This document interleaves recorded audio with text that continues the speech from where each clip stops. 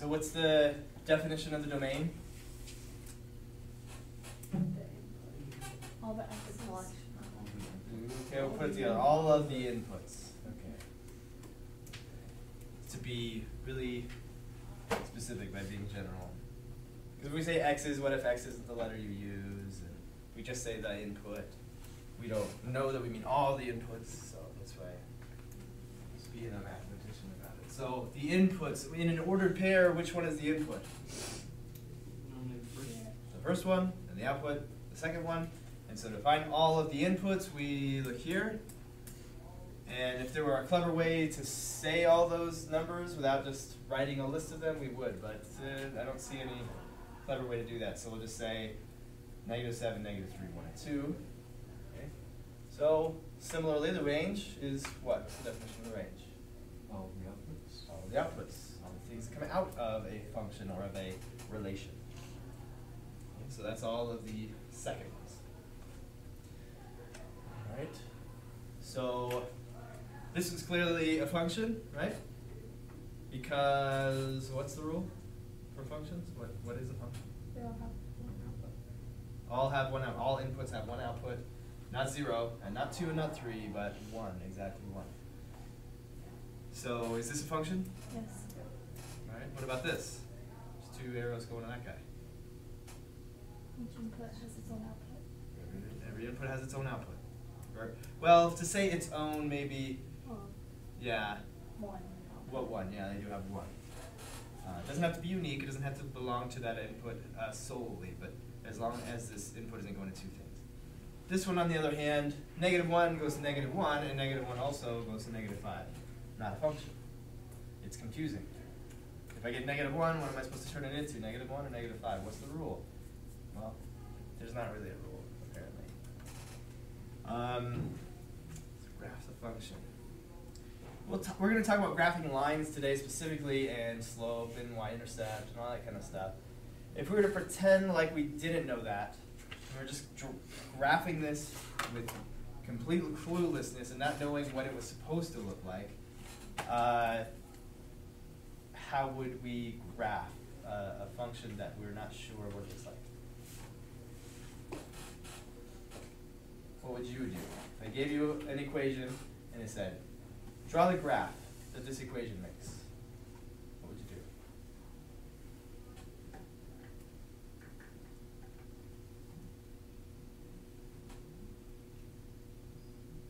No ideas at all? So I gave you an equation like that one, or, or any one, had y's and x's, uh, and I said, draw the graph that comes from this function. I will put X and Y line on the paper first. Okay, that's a good place to start. Put an x-axis and a y-axis. Then what would you do? Start graphing. Start graphing. How do I start? What is a graph? What is a graph? How do I know that, that this graph is the graph that belongs to that equation? It is a good question. If you don't know that, maybe I'm not directing it just at you, to anybody who doesn't know that, maybe you don't know what a graph is exactly. I've been there. I've not known what a graph is.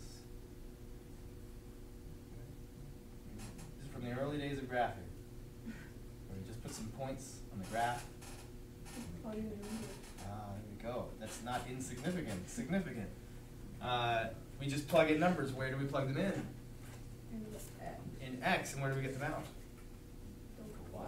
Why, right? 'Cause- and it, it's, it's not really like it goes in and it comes out. We put something in there, we, we do the arithmetic, it all simplifies down to one value, and that one value is equal to y, so that's your output. Okay, what numbers do you put in for x? Doesn't matter. It doesn't matter. The only thing that would matter about uh, what numbers you put in for x is if, if something bad could happen. But something bad that could happen when you put a number in for x. Not here, nothing bad can happen in this function. Look at what bad could happen in some other function. We talked about it last time. What are things you just can't do in math? Or don't have definitions? Can't have a number over zero, for example. You can't have a number over zero, exactly, that's a good example. You can't divide by zero, so if putting a number in for x causes divide by zero, we wouldn't do that, but that's not gonna happen here. Any other examples? Things that don't cause us to get real answers.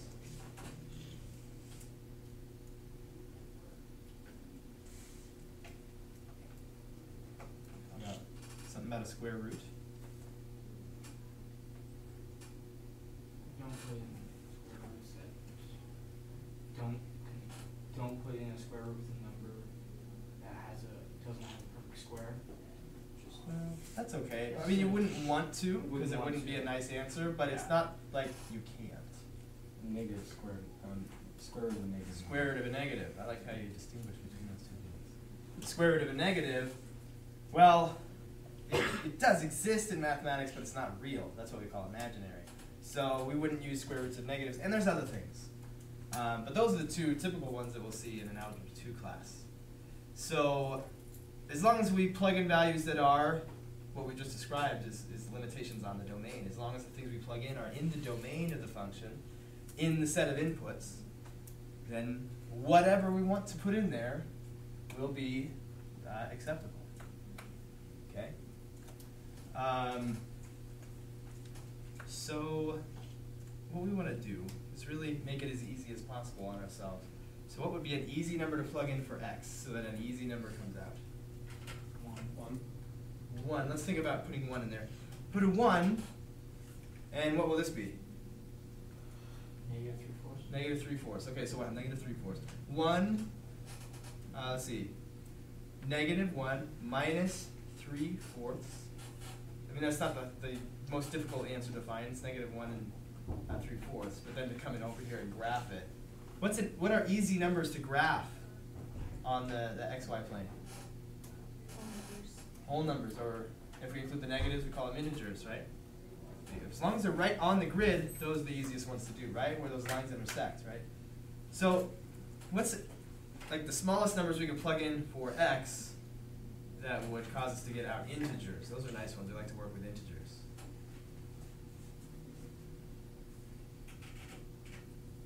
Four. Four, why four? Because it's the denominator of the fraction. The denominator of this fraction is four. If I multiply by four, what happens when you multiply a fraction with the denominator of four by four? You get the, the denominator. Let me, let me write this down, because it's all up in the air here. I'm multiplying th- negative three fourths by four, or four over one, if that helps us to look at that. Yeah, they get the cancellation because they have a common factor that we, we chose on purpose to use four. And so you just get the numerator, negative three. Okay.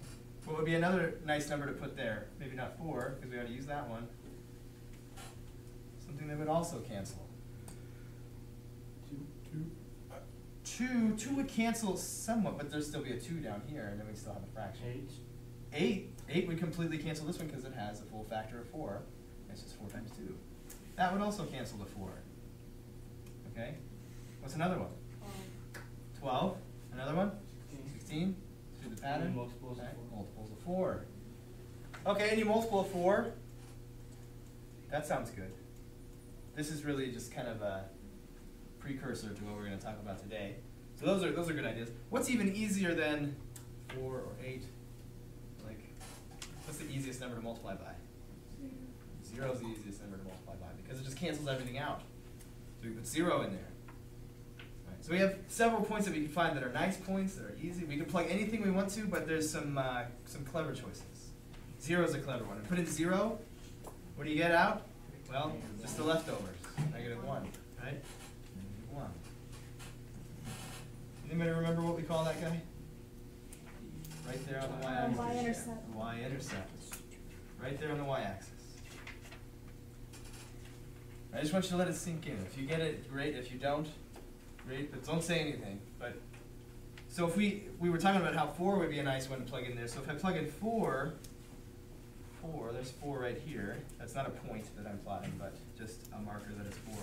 So negative three fourths times four, because because this happens, that's a good thing, minus 1. So we get negative 3 minus 1. So we just go over to 4, and we go down negative 4. We just go over 4 and we go down 3 from that other point. Okay? Um, we could just keep doing that, couldn't we? We could just keep going those same steps over 4 and down 3. And we're down 3 and over 4. We could just keep following that pattern if we keep putting in 8 and 12 and 16. But all we need, we, we know this to be a linear function. How do we know this is a linear function? Talked about this last time too. Yes? Because it's in the mx um, minus b format. mx, plus we would, b format. yeah, yeah, yeah. We would say plus b, and then we would just say b is a negative one. Yeah. Yeah. So y equals mx plus b.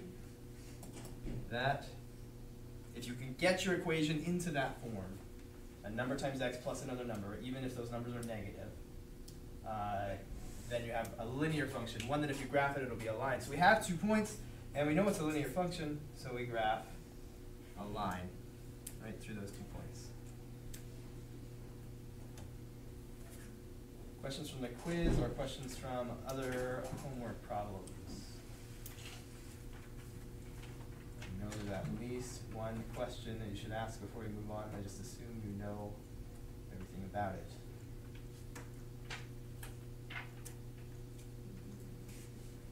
I'm not gonna hold your hands all the time, so you're gonna have to ask questions in the future, but I know there's gonna be questions about function notation.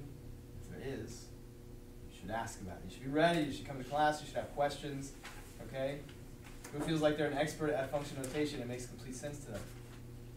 Nobody, okay? So that's a question. So you should be thinking about these, these questions that you have before we move on. Before I just move into the next thing and I just assume you know what function notation is and what it means and how we use it. Okay? So if you don't ask questions, I am not going to ask questions for you. Except for this one time. And if you have more, you should think about it. So let's talk about function notation again. Now that you've heard me talk about it, and you've tried to use it, if you got a little confused, now we'll come back and we'll look at it again. Okay?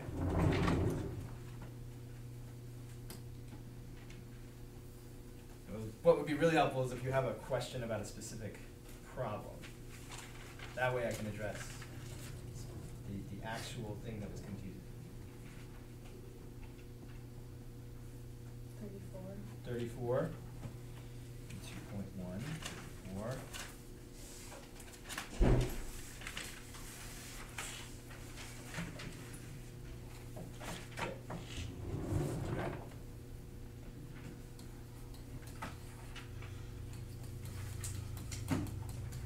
Might be confusing about this problem is, is this. This is the function, here's the input, x, here's what you do to x, and this is what we call the output now. Instead of y, we call it x.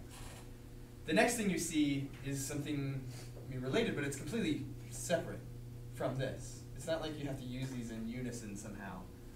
There's that, and what they, this is like instructions they're giving you. Then they want you to do that. There's that, and they want you to do that. So before I ask you what that means and how you do that, I'm going to reiterate that y and f of x, they're the same. They're interchangeable. Instead of saying f of x, you could say y. We're going to move over to f of x and g of x and h of m and r of s and all these different things, these dysfunction notation. But all they represent uh, as you know entities is the output of the function. It's all they mean. Right. Now this is a little more robust. It's a robu- more robust way to talk about the output because we can name functions. We call them f and g and h and r instead of just calling them all y, like we have been doing. Now we give them different names. Not only do we give them different names, we specify what the output is, or it's not the output, but the input, the, the letter that you're supposed to use for the input, x in this case. Could be anything, could be M, S, R, T, uh, and it will be sometimes. Like in number forty-four. There's a function called V, and the input is S. Function called V, why is it called V in number forty-four? Because you're finding volume of a cube, V for volume. And S is the input because volume is a function of the side length.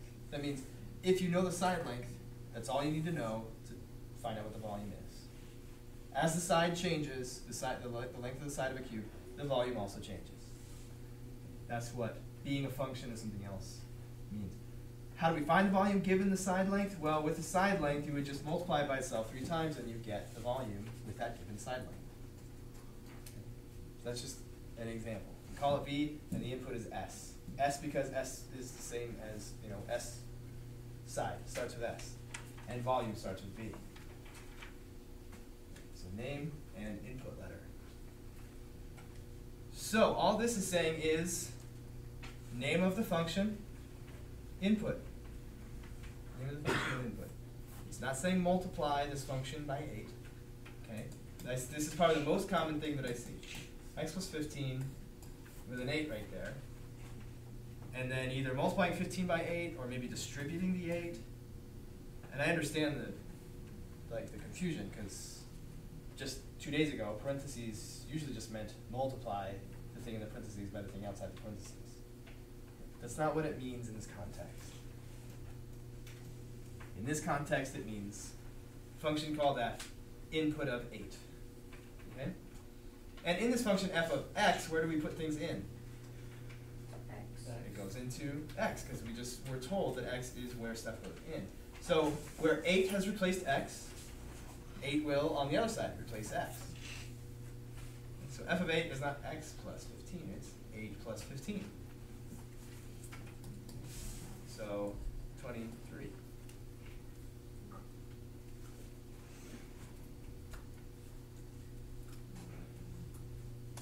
Is that better? More sense? Yes, Can we go over thirty-seven as well? thirty-seven.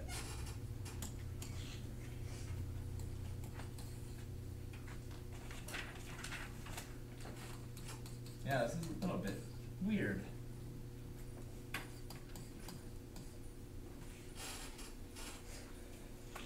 Okay, so the function called f, where if you saw the function f, you would put input into wherever you saw x. Where do you see x in this function? Or no? There isn't any x, okay? So, so x is over here and it's going crazy and it's changing from one to two to negative seventeen to twenty-five to hundred and three. What effect is that having on this function? None, it's just is what? It is six, no matter what x is. The output of this function will just be six. It's the only thing that it can put out. F of two is six, f of zero is six, f of everything is six in this case. A little bit of a weird thing, but, uh, good to cover. Okay. So, let's talk about forty-four, just because, well, I chose it for a reason. Because this is V of S, its volume given the side length is equal to S, S cubed. What does this, if I were to find the number that this is equal to, what is the significance of V of four? Once you find that number, what, what does that number mean? What is the significance of it? Yep, V is the volume, that's what it signifies. And four, like you said, it's the side length. okay. So I found out what, well, can you tell me what V of four is? Maybe that'll clear it up some more. V four, it's the volume of the cube, side length of four. Very good. So that's that's the end. I was trying to get to the middle. You jumped all the way to the end answer. If we wanted to find the number, the number would be four times four times four, right? Sixty-four. That's the volume of a cube with a side length of four. That's that's what that is talking about. Just saying this is sixty-four doesn't mean anything. Saying it's sixty-four like units cubed. It's closer. But what it is, is the volume of a cube that has a side length of four units, whatever the units are measuring. Anything else? Alright, let's pass in our, uh, our sheet.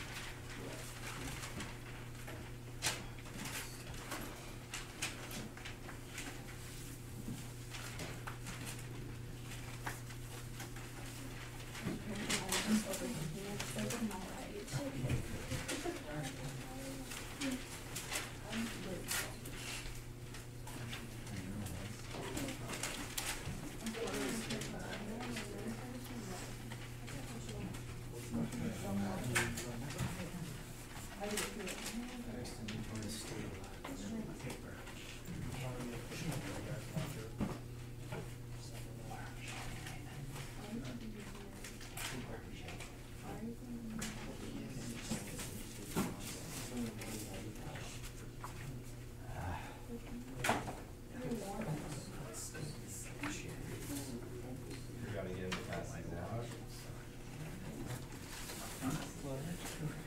your ones. Some, uh, the- last two quizzes we've done.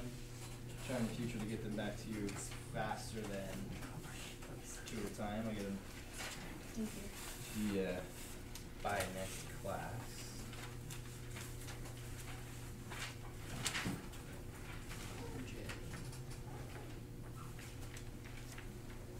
Sabrina, right? Yeah. Okay. So, uh,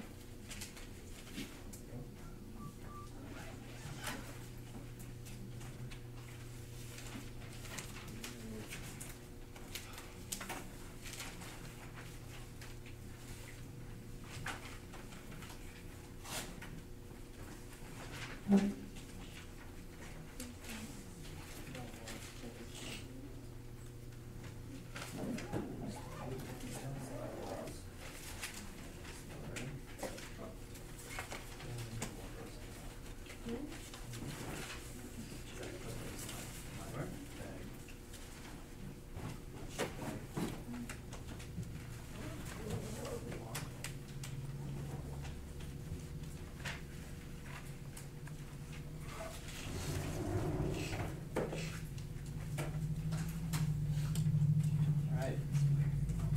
Today we're gonna be talking about slope. Slope is something you probably, you, well, haven't used it yet, shame on either you or your teacher, I'm not sure who, but you should have at least seen slope and be familiar with it and know that there is something out there called slope. Okay? Um, slope, what is the slope? Uh, What has slope? Lines have slopes. Okay, lines have slope. And actually, this is a calculus idea, but everything has a slope, just depends on where you look. Like if we look at this curve, it has slopes, right? Mhm. But the slopes is, is always changing, right? This is pretty slopey, this isn't as slopey, right? The funny thing is, it's always, it's always curving, and so how do you find the slope of a curve? That's something, that's something we're figuring out in calculus right now. But it, the slope of that curve comes down to like little bitty lines. It's kind of like it's made up of a lot of little lines. Uh, just like uh, this circle right here. This computer can't draw a circle. What it can draw is lots of little lines. Okay, just as small little lines as it can make. Okay, but if I zoom in on that thing really, really far, at some point the computer cannot possibly have enough computer power to actually draw a circle. Draws a lot of little lines. So uh, lines is what it all comes down to. Lines have slope. So what is slope? What is the slope of a line? What does that mean?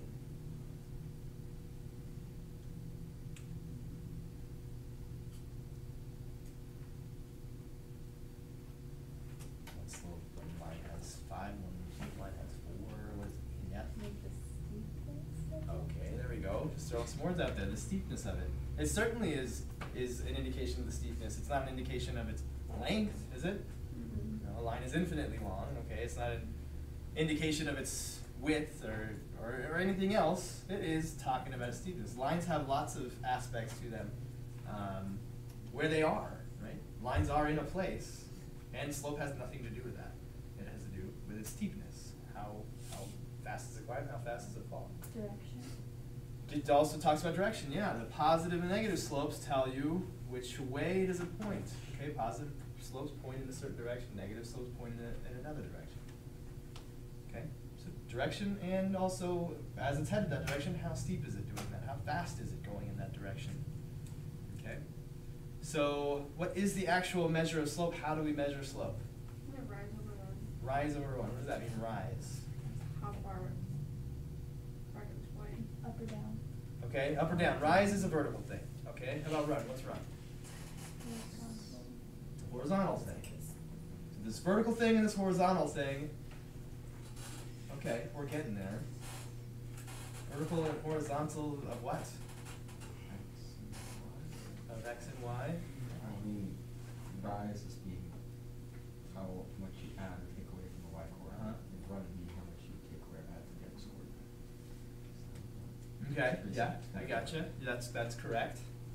Uh, okay, let's let's get a little more concrete. There's a point. All right, now there's a lot of there's a lot going on there.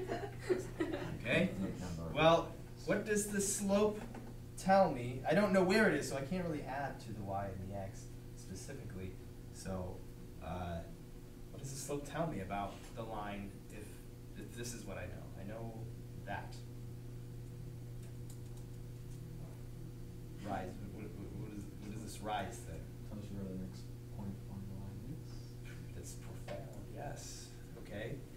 Uh, it tells you where the next point on the line, now, let's go back to the quiz.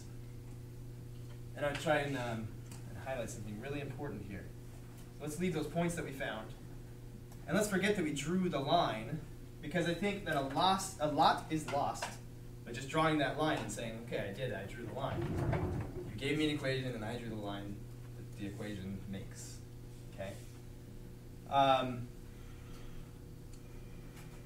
what would happen if into this equation I put in 2? Could you tell by looking at this graph about what should come out of that function?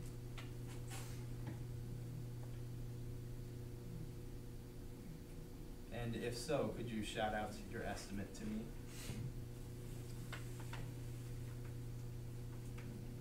But this, let me ask you this. If I put 2 into that function, will I get out positive 1? Will I get out 0? Will I get negative 1? How are you telling these, these, this yes or no answers? How do you know what comes out? Looking at the grid. By looking at the grid? So you're telling me that what comes out of the function will put me right there on the line. Okay? Now that's that's not insignificant, but it's something that's lost on a lot of students, including myself in high school. I went through all of high school not realizing what a graph is.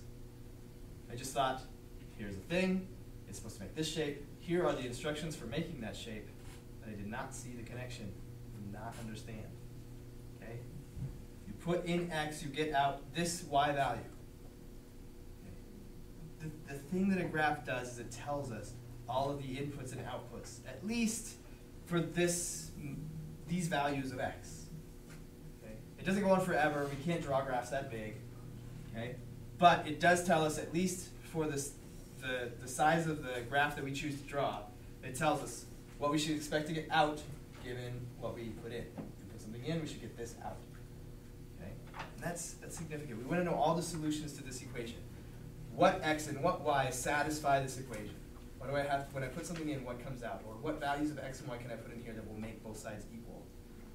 All of those points can be found, or all of those values, those x and y values, are found on this graph, on this line. Rather than having to solve it a bunch, we can draw, draw this thing that has these tendencies, and then we can know about how much. Uh, and if, if we could draw so precisely that there was no error, we could know exactly what the output wouldn't have to do any math or arithmetic or whatever. We can just go to the x and find out what the y should be. Okay. So I could go to 2 and I could get this point, pretend there's no black line there, I'm just plotting points. And then if I go to 2.1, I would get a point, you know, the output would put me right there, and this next output would put me right there, and if I went to 3, I would get this, and I'd plot all these points, and if I could plot all the points infinitely close to each other, and I did that for all values of x in here, what shape would I wind up making?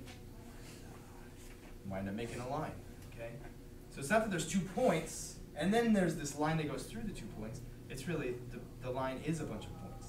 It's an infinite number of points, all drawn really close together. It's faster to just swoosh, draw a line through two points, right? But any point that we can plot, any solution to this equation will wind up landing on that, on that line. So, when we come over here and we talk about the slope, and we say if I know the slope, I can find another point on the line, means that I can find another solution to that equation. So if the slope is four thirds, I can go up one, two, three, four, okay, and over three. And then I know that if I can draw the straightest line possible between these two points, I'll be also picking up all the solutions between here and there, right? And I could do it again, and there's a solution, And all the solutions between those two, that line catches all those too. All right. Well, let's say, uh, let's, let's erase this and now the slope could be anything. Maybe it's four thirds, maybe it's five sevenths. We don't know. It's not specific. Um, we'll say this is two three, and this is five nine. We want to know the slope. We want to know the rise versus the run. We want to know that ratio. Um, first part of it is the rise. So we'll talk about the rise. And then we'll talk about the run. The rise is from one point to another point on the line, how far up you have to go. So how would you figure out, knowing these two points are on the line, how would I find the change, the vertical change from one point to the other?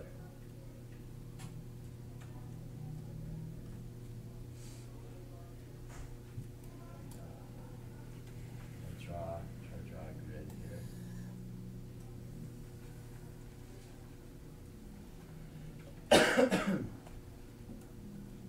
This is the rise from here up to there, the vertical change. How would I calculate that given what I know?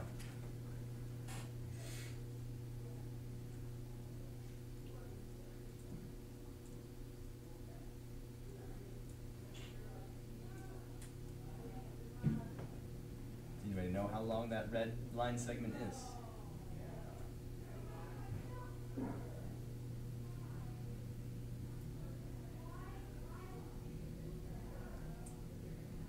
Is it completely stumping everybody how long that line segment is?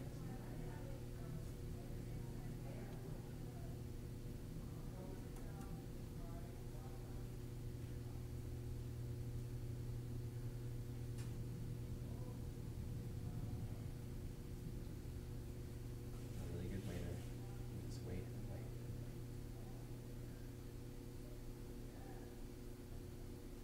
Take a guess. Take a guess and give me a reason why you guessed that.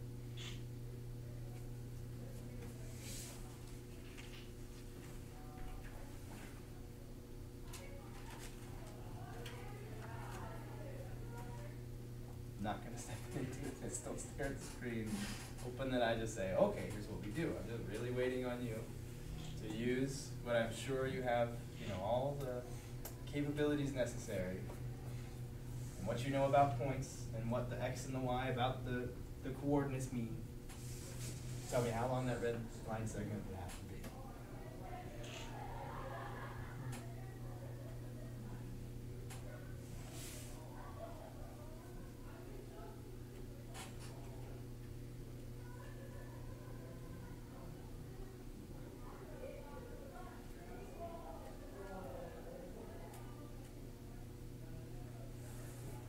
Kayla, do you have a guess at least or confident answer? Is it like the solid one or the dotted one? Just so- The, just vertical, so that the red dotted one, straight up.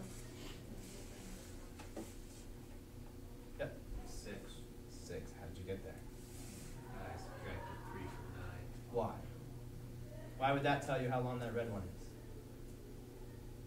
Because it's like if you started at zero and went up six, it would be the same height.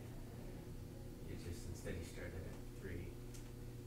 So if you went up, if you started at zero and went up a height of six, then those two would be equal lengths. Yeah. Okay, but how do you know that? Six equals six. How do you know this is six?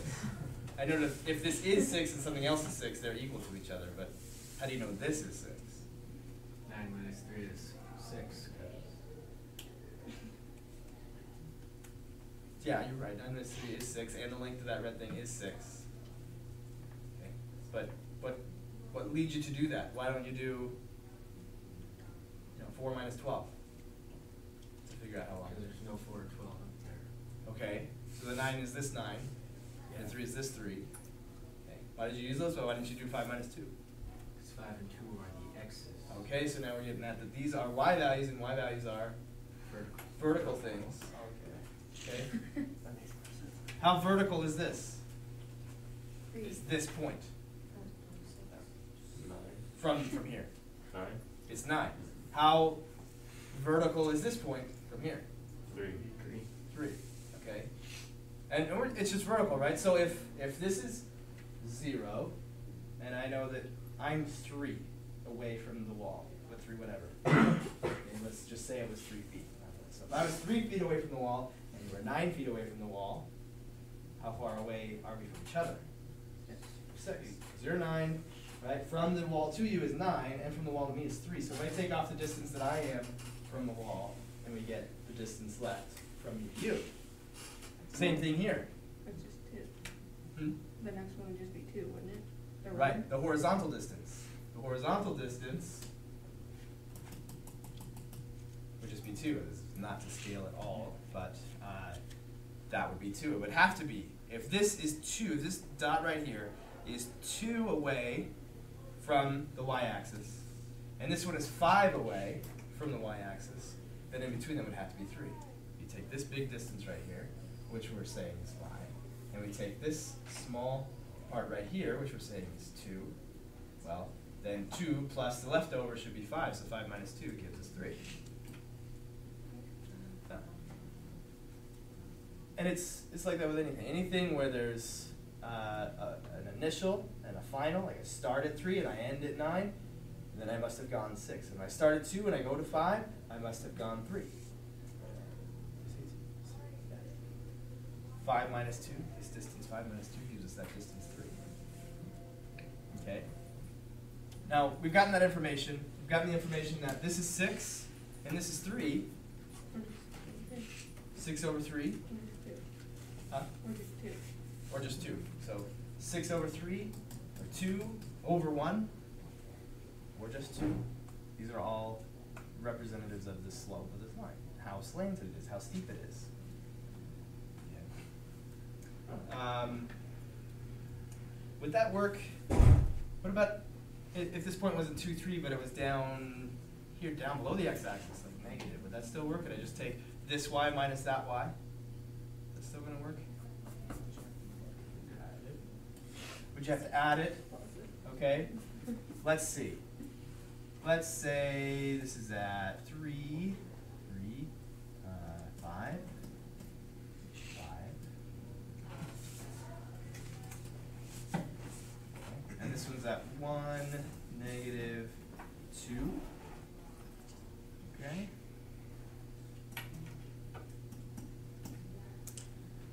So what we did here was just take, hey, this guy minus that guy, nine minus three, that's the distance between the two, okay? Well, you, you can look at this. What is the vertical distance from here to there? It's what? Seven. Seven, yes, it's, it's five and another two. To get from here to there, you'd have to go through five, and you have to go to another two. So would it work just to take five minus this other guy? Let's see. Five minus what? Negative two, so we do wind up adding it. But only because the negative times the negative is positive, we don't have to fix anything. It all works out. Even if the thing is negative, what happens is by subtracting, you wind up adding it on to that vertical distance. This goes a full five. And then you go two more, and that's what happens when you subtract. So it doesn't matter if some of them are positive and some of them are negative, even, even that, we still will get the distance between the two. Okay? Um, so if we generalize this to say, here's a point, and here's a point, we'll call this the first point, and this the second point. And this point has an x and a y. And this point has an x and a y.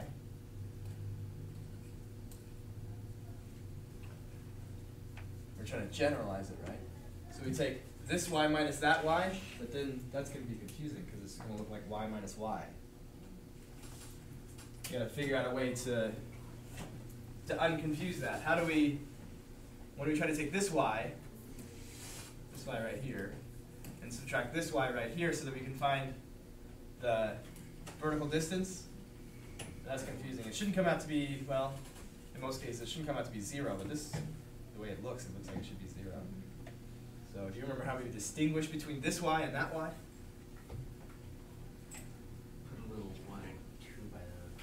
A 1 and a 2. Here's point 1, so let's call this a y from point 1. And this is point 2, so we'll call this a y from point 2. So there we go. So it all just depends on us naming one of them point 1 and the other one point 2. That's where our y2 and y1 come from. So now y2 minus y1, that's better. Those, those are different things, probably. Okay. Sometimes the y's can be the same, but that would be on a horizontal line. x2 and x1 Well, see, the thing is, we want to go from here to there vertically. Okay, so we want to get that distance from there to there is whatever y2 minus y1 is. Okay, and we want to also know this distance right here. So we wouldn't know like the steps to go from here up and then over to get to there. Right? But if we're not careful, what can happen?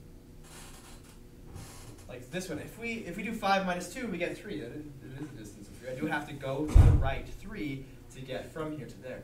But if I did two minus five, what would I get? Get Oh, negative negative three. three, and then like I would be telling myself to go to the left three at that point. Okay, so you have to be careful that you get the, the order correct. Okay, if I'm going to start here and end there, I'm going to do y2 minus y1 because I have this, whatever this y distance is, minus whatever this y distance is, gives me this y distance. And I'm going to take this x distance right here, minus this x distance right here, to get this x distance. Okay, so we want to do x2 minus x1, and not the other way around.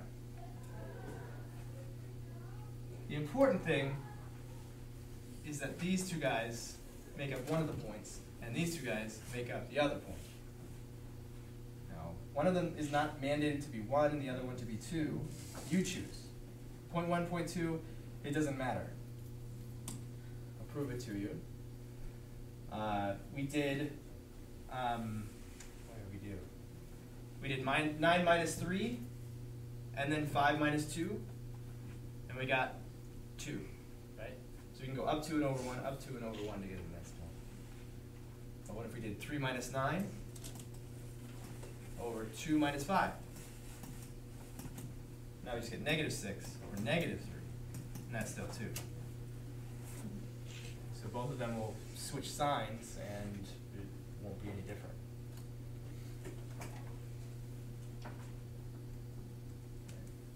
So this is slope. Slope is y2 minus y1 over x2 minus x1. Now I'm sure this is not the first time that you've heard y2 minus y1 over x2 minus x1.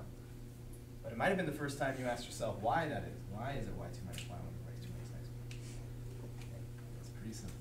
It's because for any two points, the y value from this guy, y2, minus the y value of this guy, we can call it y1, gives us this distance right here because this big one minus this small one gives us the leftover. And the same for the x's. The x for this one, x2, minus the x for this one, x1, will give us the distance right here, this horizontal distance.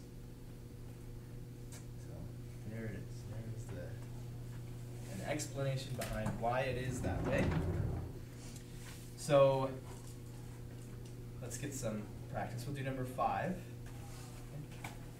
thing that I want you to be careful about is this just recall one of them point one and that stays consistent. And then you call the other one point two and then that stays consistent.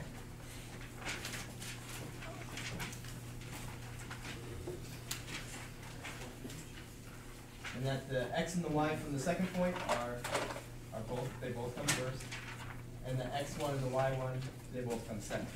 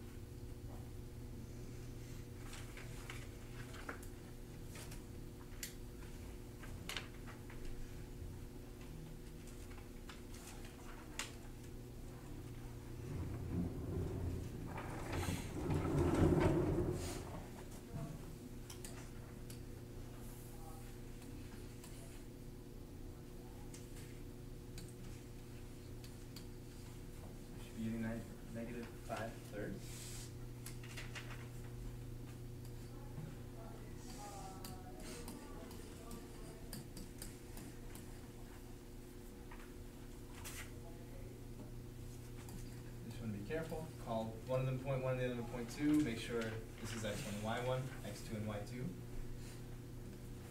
And I could have called that one two and that one one, it doesn't matter. I just want to make sure it stays consistent. So y2 minus y1 over, stay here, this is going to be the first point, 8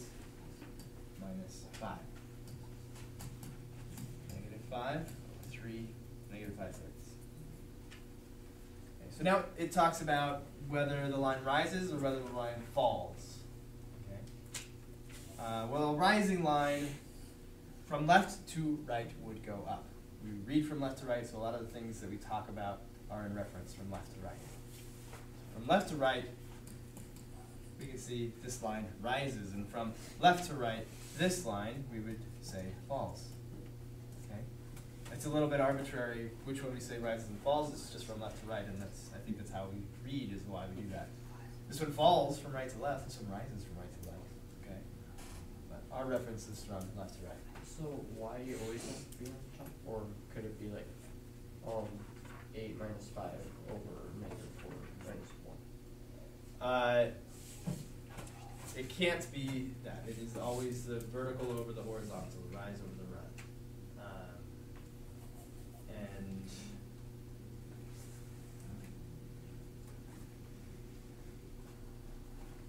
we'll see yeah, in a little bit. Find out Okay. Um, this one rises, this one falls. The question is, does something about the slope, after we calculate what the slope is, does something about the slope tell us whether it rises or if it falls? Is it like bigger than one? Is that what we're looking for? Is it, you know, anything bigger than one rises and anything that's smaller than one falls? Is that what it is? Hmm. Well, let's see. Let's start at this point. Right. We're gonna let's say we, we're gonna get to this point using the slope. All right. We start from here, and which direction do we go? Up, go up. Okay. Well, we, could start at a point here. We could go up on this one too. We Just you know, go this way after that. So, if we're gonna go up, and we're gonna stay on a line that rises, which way, which direction do we have to go now? Right. Could I possibly go to the left from here and wind up getting a line that rises from left to right? No, if I go to the left, I'll get a line that goes the other way, goes falls. So we have to, to get from here to there, if we're going to go up to start with, then we would have to go right. Okay? If we go up, what is that, positive or negative? Positive. And if we go from there to the right, what's that, positive or negative? Positive. That's positive. So the rise is positive, and the run is negative, or sorry, positive. So positive over positive is positive, right? Positive slopes are associated with rising lines. Uh, even if we went the other way, if we started here and we went down, what's that? Negative or positive? Negative. Negative. And then could we go to the right from here and have a rising line? Got to go to the left. That's a negative. Negative over negative, positive still. Still a positive. So to have a line that rises, you would have to start at one point and go up and to the right or down and to the left. Either way, you get a positive. Positive slopes rise. And without taking as much time as we did, if we have a point here and here, down is negative, and to the right is positive. You have to go to, if you go down, you have to go to the right then to have a line that falls. Well, negative divided by positive is negative. That's a negative slope. If we start here and go up, then we'd have to go to the left. If we're on a falling line, we go positive and negative. Positive or negative is a negative slope. So rises, that means we have a positive slope.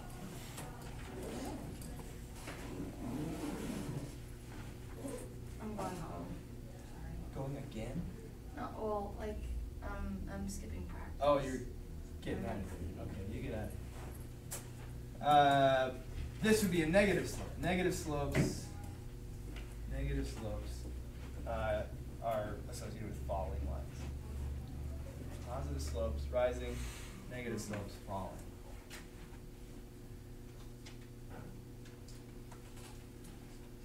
Um.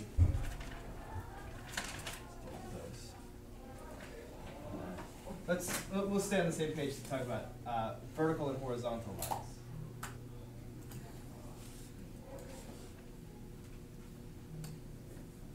So, that's good. Uh, here's a horizontal line. Let's talk about what kind of slope horizontal line is. A rising line has positive, falling line has negative. Horizontal line, it's not rising and it's not falling, it's just staying even keel, right? So it has no slope. It has, in a way, it has like no steepness. Okay? But, uh, you know, there, there are points here. There's a point. There's a point. And if we did the, the slope formula, y2 minus y1 over x2 minus x1, we get something. Right? We get some result from that arithmetic. Right? And what would happen? How, what would happen there? Let's think about in terms of rise over run. So if we're going to go from here to there, how much am I going to rise? None. So the rise is worth how much? Zero. Rise over run starts with zero over, well, how much do I go over? X. I know. X amount. You know, we don't know. It's, uh, it doesn't really matter. You, you'll go up nothing and you could go over a million or you could go over three. You still are on a horizontal line. So we go over, who knows? What's zero divided by who knows? Zero. Still zero. Zero divided by anything is zero. So that's horizontal. How about vertical? Is vertical also zero? You can't both be zero, that doesn't make any sense. Zero has to be horizontal and so vertical has to be something else. Let's think about rise over run again. How much do you rise? I don't know. Let's let's say we rise. Okay, whatever. I, I'm- I'm not sure. That's up in the air. How much do you run? None. Okay, so whatever the rise is, it doesn't uh, really matter because we're gonna run zero. What what do we know about this here in this place in this fraction? Zero. Something divided by zero is zero.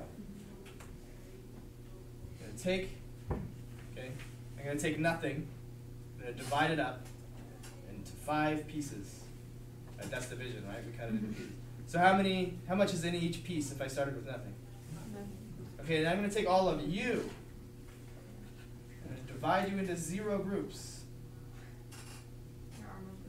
How many people are in each group? Because if I ask them zero groups, But there, but that would that would be like there was a group. There's a group to count how many they're in, but you have no groups. Exactly. There are people. There are no groups. It's magic. Okay. Well, math isn't magic. So if it's magic, then it's outside of math. Math doesn't have a definition for it. This is undefined. That's what we call undefined. You divide by zero, you can't. There is no definition for it. Maybe in the future, I mean, literally, this could happen. I'm not exaggerating or being silly. You could decide what dividing by zero would mean. Okay? Just like the, the other day when we talked about negative times negative is positive, that wasn't immediately apparent when the first person tried to divide two or multiply two negatives together. They had to figure out what two negatives would have to be, and we proved it. We proved uh, very uh, definitely that it has to be a positive. But dividing by zero, we still we keep looking at it, and then we just don't know what to make of it. There is no definition. It's not positive or negative. It's not anything within math. We don't have any definition. But in the future, uh, just like there was a time when they didn't know what negative times negative was, you know, we just don't know what dividing by zero is yet. And we'll decide in the future what it means. And that dividing by zero will fit within all of the math rules that we've made so far, and, and it'll work. But right now, there is no definition. It's undefined. So a vertical line will have an undefined slope, or in other words, a slope that has a zero in the denominator. Because the rise is, or the run is zero, there is no horizontal movement between the two points. So that's a vertical line. No slope at all.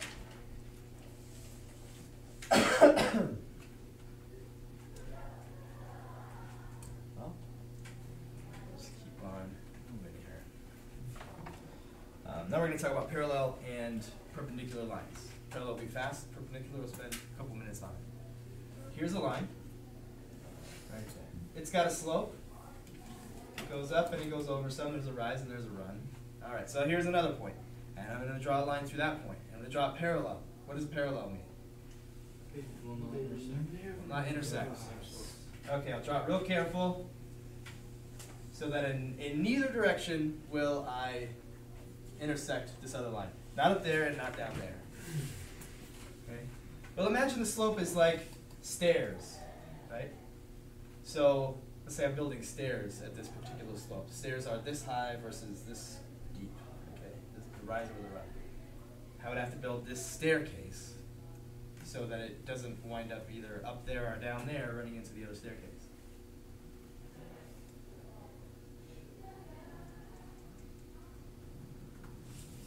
Well, if I made these steps, uh, if I kept the depth the same but I built them too high, what would happen then?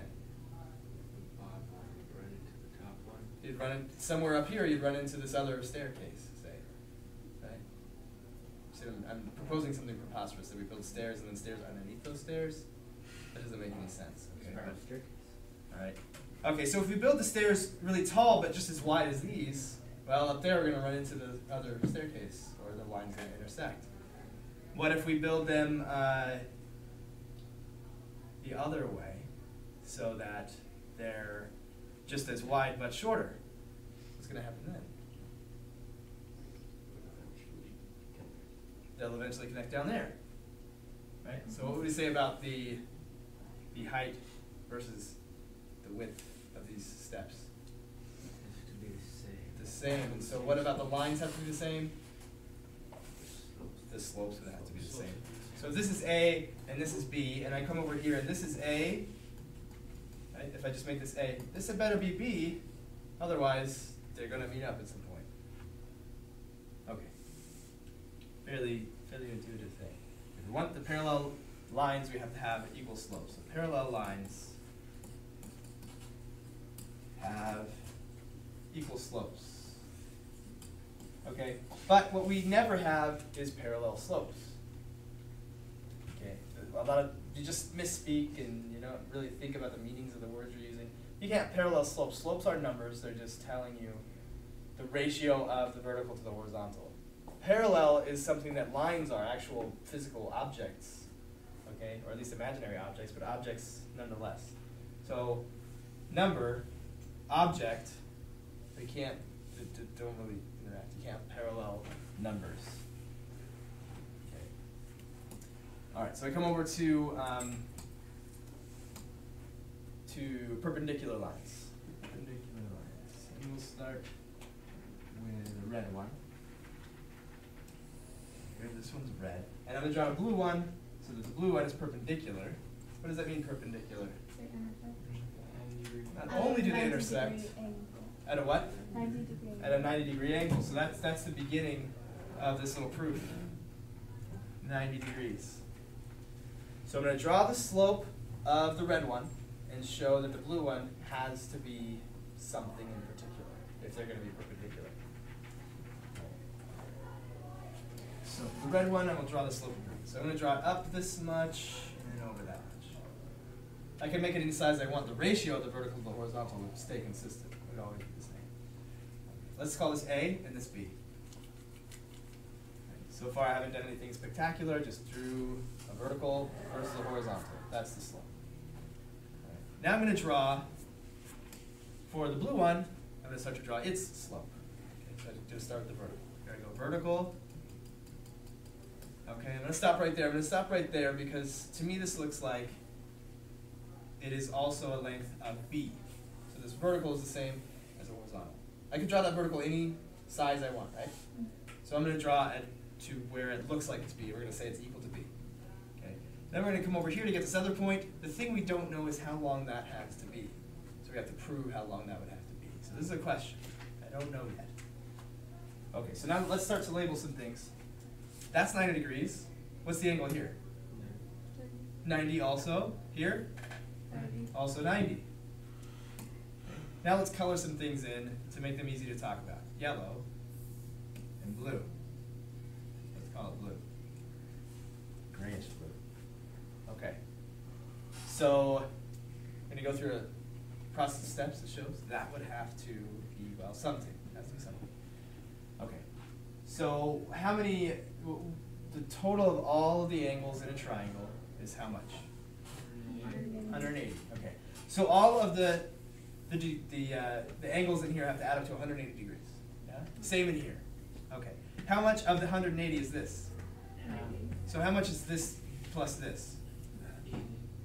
Is what? Ninety. Ninety. Yellow plus blue then would have to be ninety. Ninety plus ninety being one eighty. Okay. And how much is this angle? This big one right here between blue and red? Ninety. Ninety. Okay. So this is ninety. And what is yellow plus blue?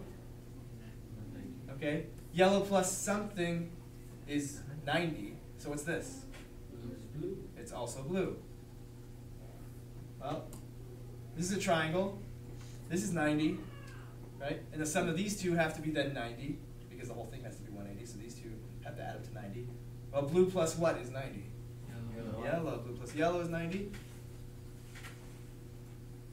Okay. Well, let's forget about this B thing for a second. So we have two triangles that definitely have the same angles, all the same angles. What do we say about two triangles that have all three angles the same? They're similar. They're similar. They're not necessarily congruent unless They have the same one side one corresponding side is the same, right? The hypotenuse is the same on both, or the longest leg is the same on both. So here, I just so happen to draw this guy, so it's also B. And its a corresponding side is the longest leg.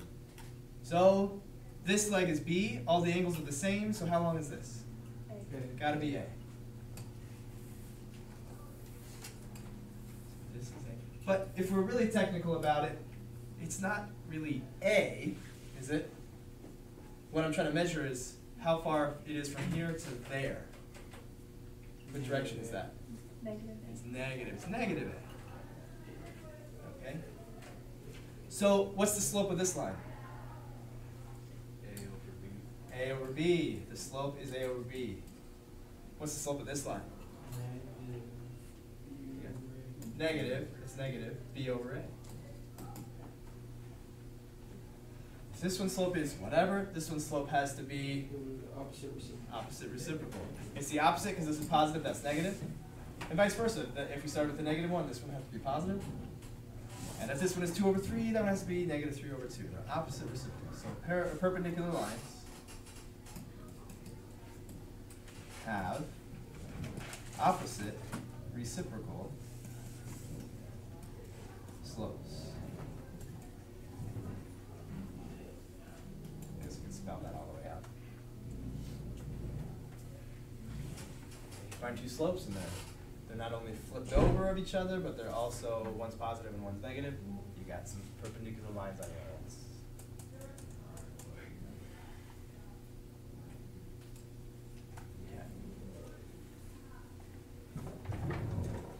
Questions at all?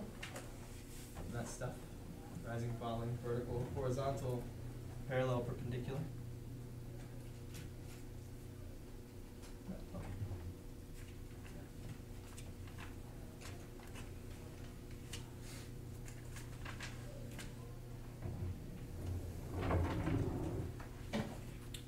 Well, I'm gonna give you, I'll do the fast version of this. This. This is one way to write the equation of a line. f of x equals mx plus b, or y equals mx plus b, whichever you wanna use. And Trying to force fu- function notation on you. This is called, uh, slope, intercept, form. Why is it called slope intercept form? Because there's a slope and an intersection. Slope, which one's the slope? M. M and B is the what? Interse- Y. The y-intercept, yeah, not just the intercept, but the y-intercept, so slope, y-intercept. So let's make up an equation. Y, we'll use y just to make it easier on ourselves for a minute. Y equals, uh, two thirds x plus, well, let's say minus, of course this is negative, minus one. What is the minimum that you need? What's the minimum information you need to draw a line?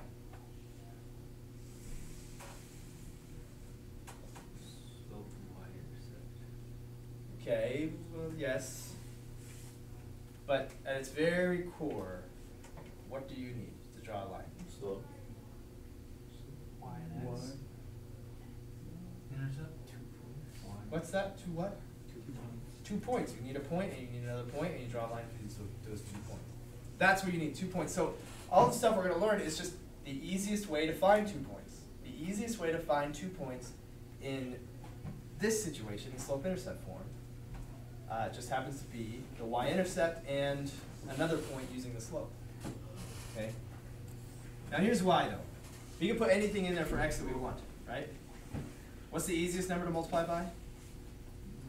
Zero. That's why the y-intercept is such a convenient thing to find because all it requires you to do is put zero in for x. This goes away, and this is all that's left. That's why you use this as the y-intercept because if you put in zero for x. That's what the y is. So that's where it intercepts the y-axis, right there. So that's why that is. It's a convenient way to write the equation of a line because it's easy to find the y-intercept first. And now we go back to the thing that we talked about before. Let's say we're going to move this way. We're going to find another point to the right. Okay? Um, if you plug in one, you can plug in one, right? One would be all right. Two would be fine. Why is three such an attractive choice to plug in for x? We talked about it earlier. during the quiz. Because you can cross out three and two. Yeah, because because now we're going to multiply by like a, a fraction with 3 in the numerator, which is going to cancel with that 3 in the denominator. So we're going to have 2 thirds times 3 is the next easiest choice because it's going to land us right on the grid. Right? And then we subtract 1. The 3's cancel, making it so easy to just do 2 minus 1, 1. And so we're at 1. So what did we do? We, we went over to 3. That's our run. Right? Over 3. Okay? And then all we did is we started at negative 1, and then we added 2 more, the numerator of what we now call the slope.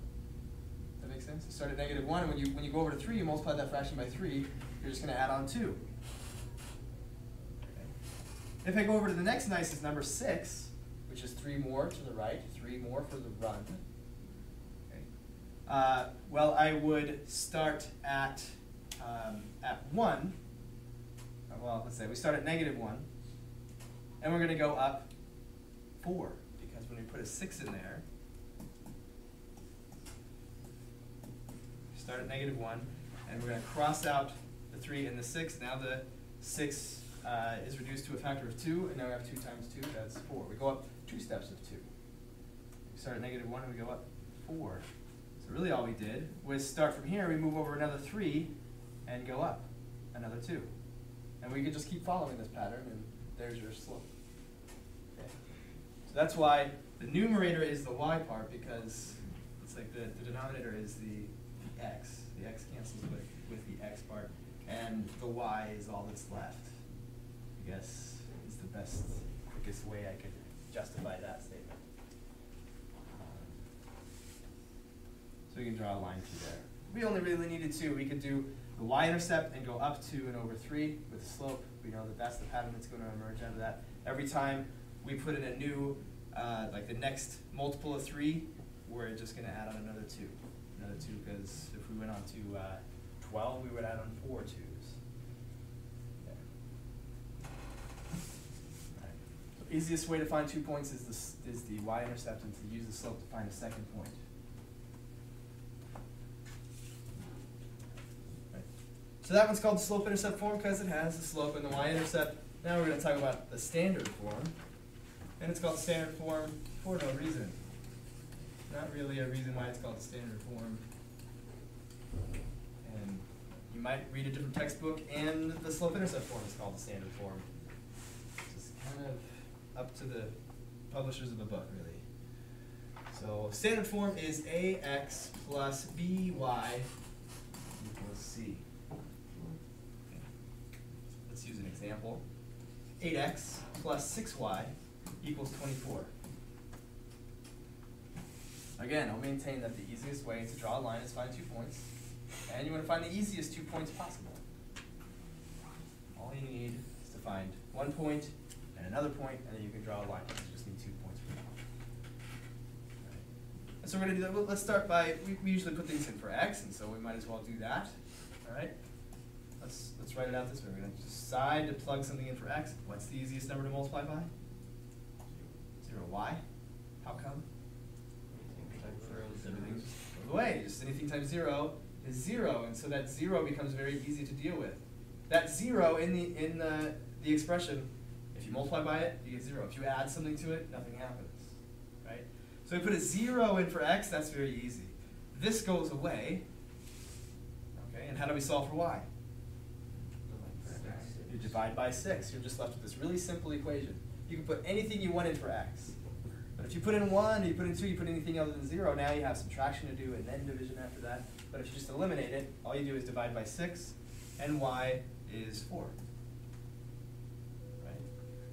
Now, we don't have to only put the, we could put things in for y and figure out what x is if we want to. It's still, you know, that, we're just saying what the output needs to be and figure out what the input would have to be.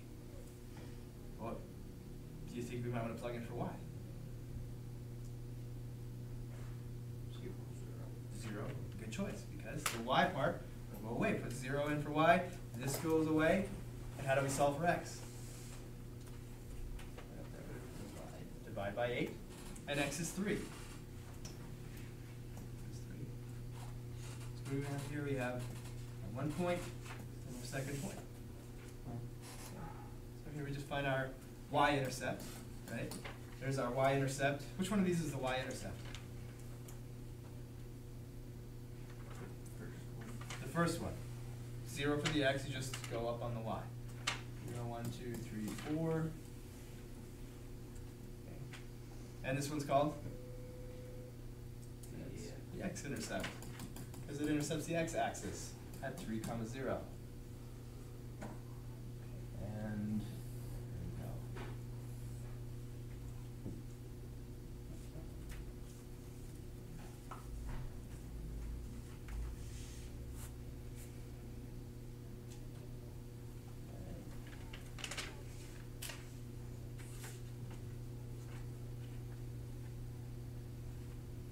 And just uh, in the last couple of minutes, we've got something really easy to cover. So we're just talking about different ways to write the equation of a line. y equals mx plus b, that's one way. It tells you the, the y-intercept and the slope. The standard form, you can easily find the two intercepts, the y and the x-intercepts, and draw a line that way. Okay. So now, what if I gave you an equation like y equals five? I'm gonna graph y equals five. What would that look like? Horizontal line where? Up five. This is going really well today. Every other year, I have had confused students get this turned around backwards. Because what they do, what your mind does, and it's natural, is to say y is a vertical thing, so it must draw a vertical line. That's, that's not right, right. Because what needs to be true about this line? Every point on here, the one thing that needs to be true is this. So what needs to be true about every point? y is 5. Is that true of every point on this line? Yeah, x I don't know, but I definitely know y is 5. Which means similarly that x equals negative 2 looks like what?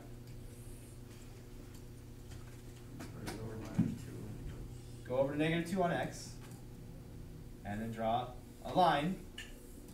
A line where all of the x's are negative 2. If we draw anything other than a vertical line, if it slants at all, this x over here won't be negative 2. This x over here won't be negative 2. All the x's need to be negative 2. That's our, our vertical line and our horizontal line. Those are the equations for both of those guys. Okay? Uh, that's what I have. Do you have any questions? Do you need for practice? That's not a question. Statement. Well, I can't argue with it, I guess. It just is what it is. Goodbye. Enjoy your weekend. See you now later. You're a track? Uh, Chris. You're a track, there you go. Cross country or, or whatever it is. Put What's Gavin do? Cross country. Cross country. Track's not. Apparently I don't know the difference between track and cross. I guess I, I don't.